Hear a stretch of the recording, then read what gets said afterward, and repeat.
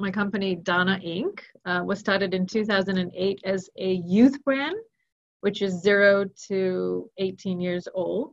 However, we've pivoted uh, with our new launch. Um, and which so I know a little bit about, just yes. so you know. Yeah. Anyway, exactly. Yeah.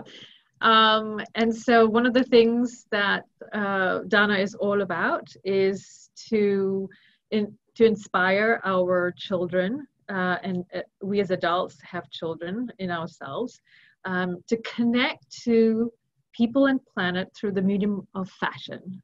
It's a new conversation that uh, we like to say that is emerging in terms of the storytelling when it got to do with fashion.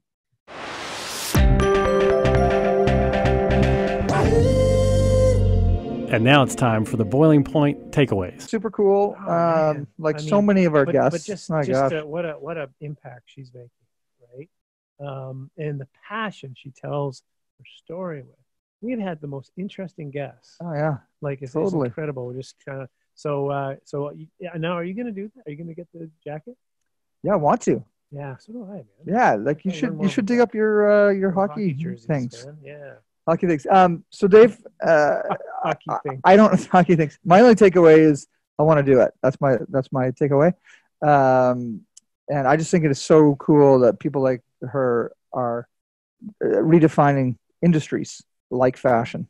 I, I, think that's super cool. Yeah, and well, and and it, and you know, it's just it's all like always. Once you learn something, you're like, how did I not know that or thought think about that? Like, you know, like I'd be done with a T-shirt, and I'm like, you know, I'm clearly a t-shirt no one else will wear, right? Like an undershirt, or whatever.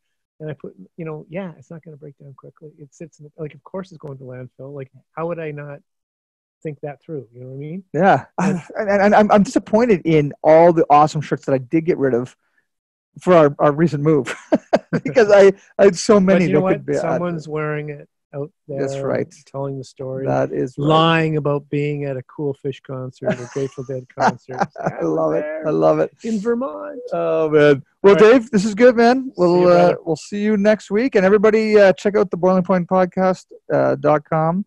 Uh, and rate and subscribe on YouTube, on iTunes, I should say. Thank you. And uh, also join our Facebook uh, page if you can, if you're interested, uh, as well as follow our Boiling Point process uh, boilingpointprocess.com. And we're doing events these days. It's uh, a lot of fun. So stay tuned for all of that. See you later, Dave. See you, Greg. Thanks for checking out this episode of Boiling Point. Thanks for listening, and remember, keep that pot boiling.